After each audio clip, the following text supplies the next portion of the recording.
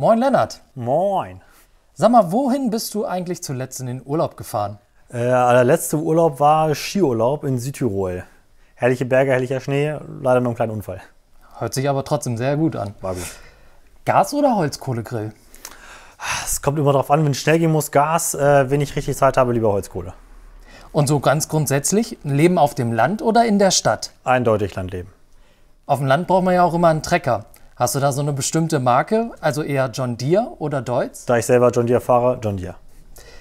Ähm, kommen wir mal wieder zum Musikalischen. Mit welchem Song bekommst du die Tanzfläche immer voll? Äh, pur Party-Hit-Mix, Danza Kuduso, es kommt immer darauf an, wie die Leute drauf sind, aber es gibt viele gute Songs dafür. Ja. Und wenn du dich entscheiden müsstest, Schlager oder Popmusik? Ah, Schlager. Was war denn dein Traumberuf, als du noch klein warst? Der Traumberuf, ich glaube, wie bei jedem Kind, Feuerwehrmann. Das musste sein. Das hört sich gut an. Nachteule oder Frühaufsteher?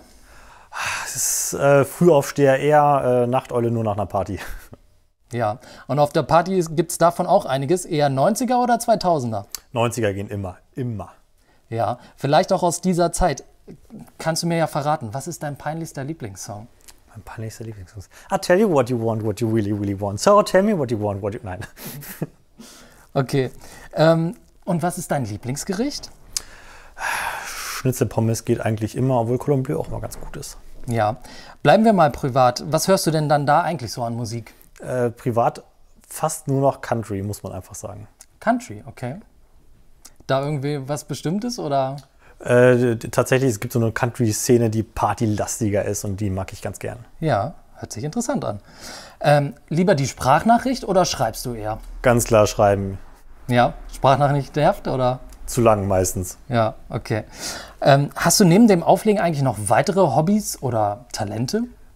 Talente kann man mir viele zusprechen, aber ich äh, habe einen kleinen eigenen Aktivstall. Ich bin Westernreiter, mache auch äh, Unterricht und trainiere quasi auch Jungpferde. Das ist mein großer Bereich neben dem DJ.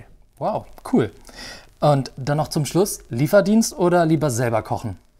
Lieber selber kochen. Dann einen guten Appetit. Vielen Danke, Dank. danke.